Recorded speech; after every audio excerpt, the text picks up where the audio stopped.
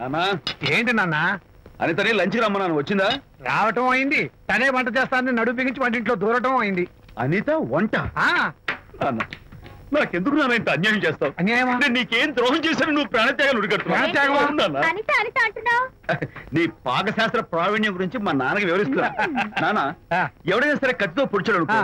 చచ్చిపోతారు ఆ. బాంబు పేలు చచ్చిపోతారు ఆ. యాక్సిడెంట్ అయిపోతారు ఆ. కానీ అదేం తమాషాను ఆ. అనిత వంట తింటుంటే. మధ్యలో నుంచి ఏ బాధ లేకుండా హాయిగా టపాగట అమ్మో, అంత talent ఆ? అయ్యో చాలా టాలెంట్ చేయక్కర్లేదు ఏదో ఆడ మనిషిలే నిల్లు కదా అని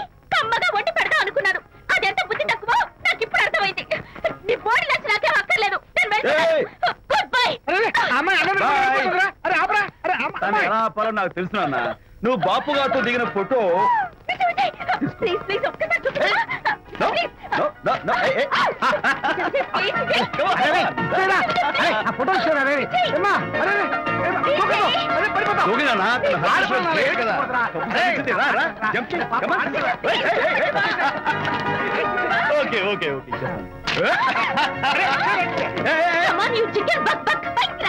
ఏం చేసుకో. నిన్ను? నాన్న కొట్టావా నిన్ను?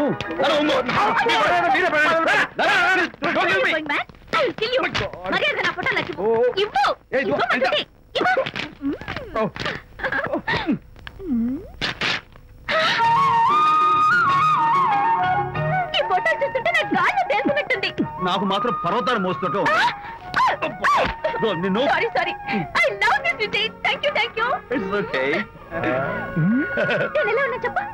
బాపు గారి పక్కన ఓ ఎర్ర కోతి పిల్ల లేవు సారీ సారీ సారీ అమ్మాయి గారు పాలండి.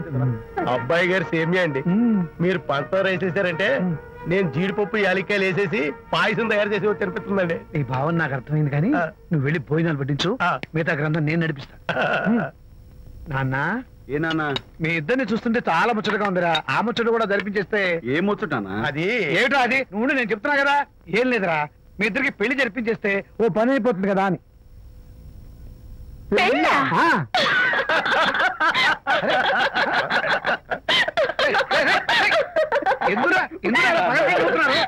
జోక్ చేశాను ఇప్పుడు. నాన్న. కొంపదీసి మేము ఇద్దరం లవర్స్ అనుకుంటావా ఆ. పిచ్చి నాన్న జోక్ కాబట్టి ఏంటి? అంటే మీరిద్దరు ప్రేమించుకోవట్లేదా ప్రేమ? అరే, మళ్ళీ నవ్వుతారు.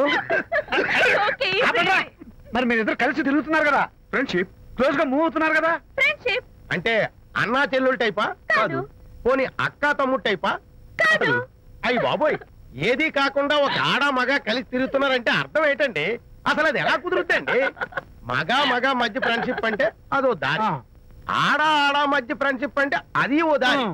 ఇది ఏది కాకుండా ఆడ మగ మధ్య ఫ్రెండ్షిప్ అంటే నాకేం అర్థం కావడం లేదండి. ఒరే మట్టి బుర్రా నీకు అర్థం కాదు కానీ వెళ్ళి పని చూసుకోపో. వాడే కాదురా. ఆడ మగ మధ్య ఉన్న బంధం ఫ్రెండ్షిప్ అంటే ఎవ్వరు ఒప్పుకోరు. ఎందుకు ఒప్పుకోరు? ఏ? ఫ్రెండ్షిప్ మాత్రం బంధం కదా?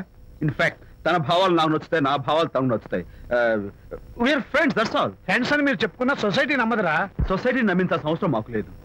ఇట్స్ నాట్ అవర్ ప్రాబ్లం మీకు ప్రాబ్లం కాదురా నాకు ప్రాబ్లం మీకు ప్రాబ్లం ఏంటి అంకుల్ ఏం లేదమ్మా ఇన్నాళ్ళు నువ్వు నా కోడలు అవుతావని మురిసిపోయాను. ఇప్పుడు మీరు ఫ్రెండ్స్ అవటం వల్ల అది కుదరటం లేదు. ఇప్పుడు వీడికి పెళ్ళాన్ని ఎక్కడ వెతకాలని?